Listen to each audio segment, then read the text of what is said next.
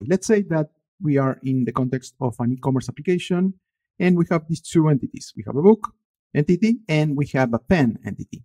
And both entities have these three common properties and columns.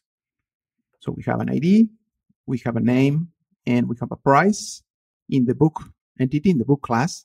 And the same happens in pen. We have the price, we have the name, and we have the ID.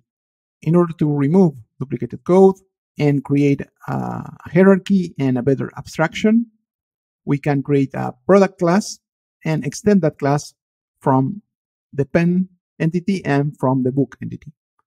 So let's do that. So I'm going to create a new class. This will be an abstract class. So this is product. Import abstract as product.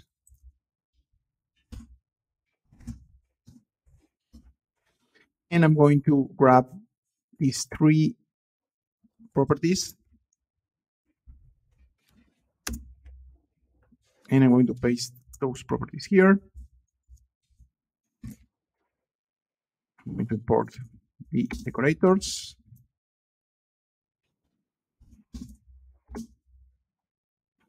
And I'm going to remove the properties from here.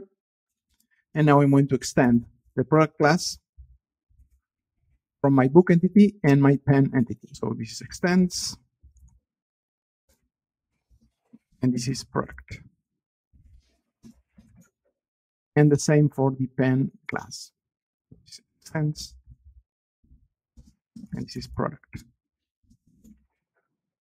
Okay, using this approach, we are going to generate two tables, one for the pen entity and another one for the book entity. So now let's go to our index file and here I'm going to create basically a new book, a new pen, and I'm going to insert those elements into the database. And we're going to see how the schema and the tables are generated and how the data is populated into the database.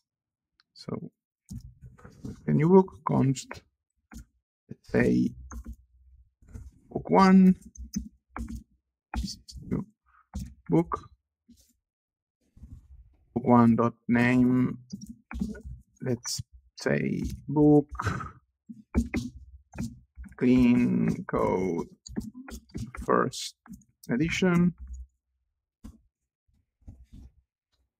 Book one dot title. Let's say clean code. Book one dot author. Book martin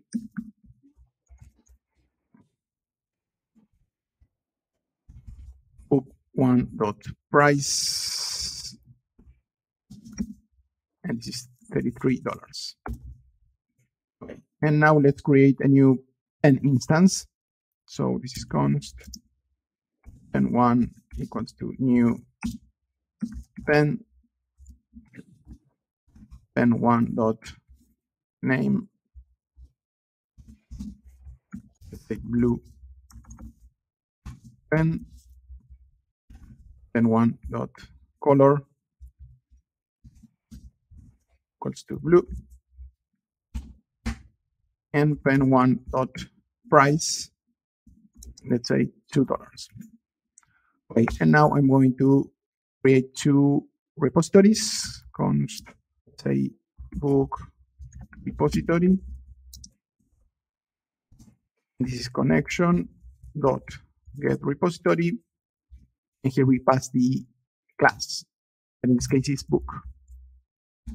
And here we insert a new book. Repository dot save, and we pass the instance of the book, book one. And the same for the pen. const pen repository equals to connection get repository. And we pass the pen class here. And this is pen repository. Save. And here we pass the instance of the pen. So this is pen one. And that's it. Okay now let's take a look at the tables. Let's go to the Database Explorer. Here we have our type ORM database that is empty. We don't have any, any tables here. So now let's run this index file. So this is npm run start. Okay, let's refresh the tables.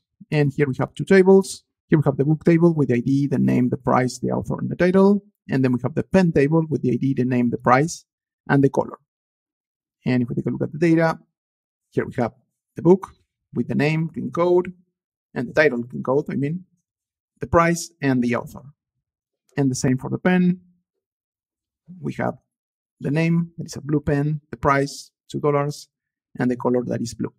So with concrete table inheritance, we have one table for each class of the hierarchy.